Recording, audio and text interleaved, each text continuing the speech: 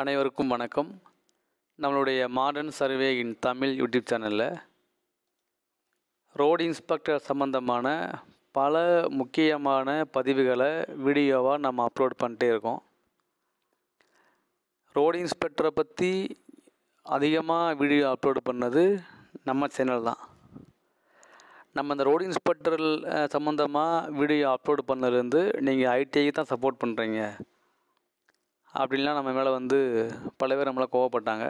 நம்ம அதில் உனக்கு ஒன்றும் ஃபீல் பண்ண போகிறது கிடையாது. ரூலில் என்ன இருக்கோ நம்ம அதைத்தான் விடிய நம்ம வந்து வீடியோவாக அப்லோட் பண்ணுறோம் அவ்வளோதான் கடந்த முறை வெளிவந்த தீர்ப்பு வந்து ரோடு இன்ஸ்பெக்டர் போஸ்டிங் வந்து ஐடிக்கு தான் கொடுக்கணும் அப்படின்னு தீர்ப்பு வந்திருக்கு. அந்த தீர்ப்பு இந்த முறை அப்பீல் போயிருக்கனால அது மாறலாம் இல்லது அது மாறாம கூட போகலாம். ஆனால் ஜட்ஜ்மெண்ட் என்னவோ அதான் நமக்கு ஃபைனல் நம்ம இந்த ரோடு இன்ஸ்பெக்டர் எக்ஸாம் வந்து பார்த்திங்க அப்படின்னா கடந்த வருடம் மே மாதம் இதே நாள் ஏழாம் தேதி அஞ்சாவது மாதம் ரெண்டாயிரத்தி இருபத்தி மூணாம் ஆண்டு காலையும் மாலையும் நடந்த ஒரு தேர்வுக்கு ஒரு வருஷமாகியும் இன்னும் ரிசல்ட் வரவே இல்லை அப்படிங்கும்போது அந்த தேர்வு எழுதினவங்களுடைய மைண்டு எப்படி இருக்கும்? அவங்க அவங்க எவ்வளோ கஷ்டப்பட்டிருப்பாங்க? இது இதனால் பாதிக்கப்படுறது யார் அப்படின்னா பிஇ டிப்ளமோ ஐடிஐ எல்லாருமே தான். அந்த தேர்வு எழுதின எல்லாருமே தான் பாதிக்கப்படுறாங்க. அப்போ ஒரு தேர்வு எழுதி ஒரு வருடமாயும் தேர்வு மொழி வராமல் இருக்கிறனால அந்த அந்த எக்ஸாம் எழுதினவங்க வேறு எக்ஸாமுக்கு படிக்கவும் முடியாமல் இந்த ரிசல்ட் வரும் வரும்னு வெயிட் பண்ணி வெயிட் பண்ணி அவங்களுடைய மன உளைச்சல் தான் அதிகமாகிட்டே இருக்குது நம்ம யூடியூப் சேனலில் கமெண்ட்டில் நிறைய பேர் போடுற ரெக்வஸ்ட் என்னென்னா சார் இந்த போன போன மாதமே போட ஆரம்பிச்சிட்டாங்க. போன ஏப்ரல் மாதமே சார் அடுத்த அடுத்த மே மாதம் ஏழாந்தேதி ஃபஸ்ட்டு அனிவர்சரி இன்னும் ரோடு இன்ஸ்பெக்டர்னு போடுங்க சார். அப்படின்னு நிறையா பேர் வந்து கமெண்ட்லேயே கேட்டிருந்தாங்க.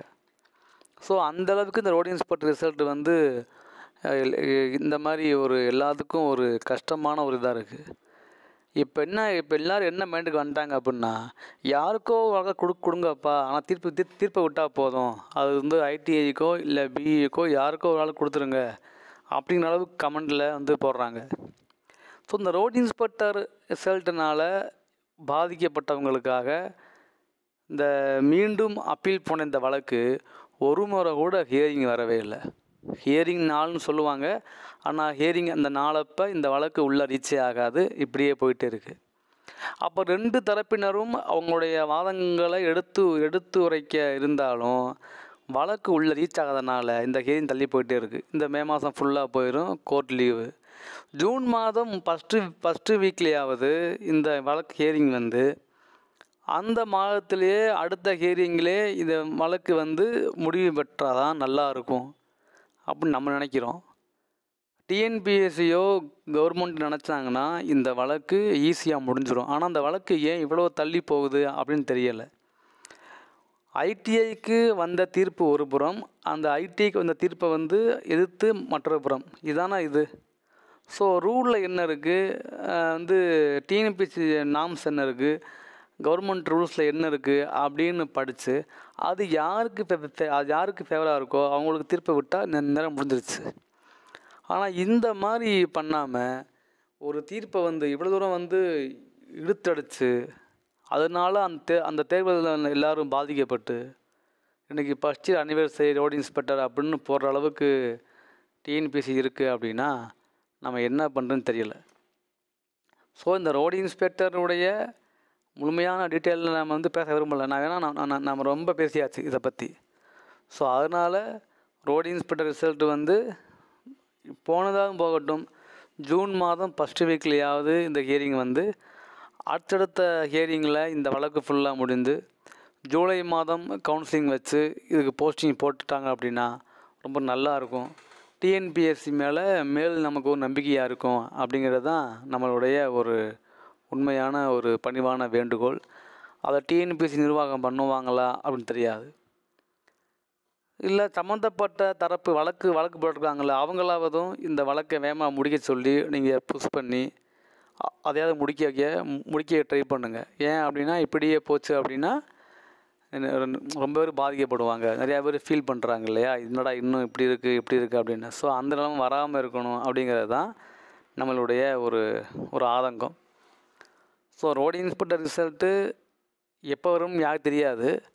அது எவ்வளவு விரைவாக வருதோ அவ்வளவு வந்து நமக்கு நல்லது அப்படிங்கிற பதிவு பண்ணுறது தான் இந்த வீடியோவுடைய முக்கிய முக்கியமான பதிவு. இது உங்களுக்கு தெரியும் ரோடு இன்ஸ்பெக்டரு ஃபஸ்ட் டைம் வந்து வெளியான அன்னைக்கு வெளியான அறிவிப்பு. அதில் பார்த்தீங்கன்னா பேப்பர் ஒன்று ஏழு அஞ்சு ரெண்டாயிரத்தி இருபத்தி மூணு. ஸோ கடந்த வருடம் இதே நாள் காலை மாலையும் எக்ஸாம் வெளியிட்டு நமக்கு ரிசல்ட் வந்துடும் அப்படின்னு காத்திருக்கவங்க இன்ன வரைக்கும் காத்திருக்காங்க. அதோட ஒரு பெரிய கொடுமை எதுவுமே கிடையாது. ஆனால் நம்ம மற்ற எக்ஸாமை கம்பேர் பண்ணும்போது இது வந்து பெரிய தான் தெரியாது. ஆனால் இந்த ஆனால் ஒவ்வொரு நாளும் இந்த மாதிரி வெயிட் பண்ணி வெயிட் பண்ணி போகிறதுங்கிறது ஒரு மிகப்பெரிய ஒரு வழியை கொடுக்கும் அந்த எக்ஸாம் எழுந்தவங்களுக்கு. இதெல்லாம் டிஎன்பிஎஸ்சி புரிஞ்சு மிக விரைவில் அந்த தீர்ப்பை வெளியிட்டால் நல்லாயிருக்கும் அது என்ன நடக்குன்னு தெரியாது. நம்ம நம்ம வெயிட் பண்ணி தான் பார்க்கணும். ஸோ எல்லோருக்கும் கொஞ்சம் பொறுமையாக இருங்க. ஃபீல் பண்ணாதீங்க. Thank you.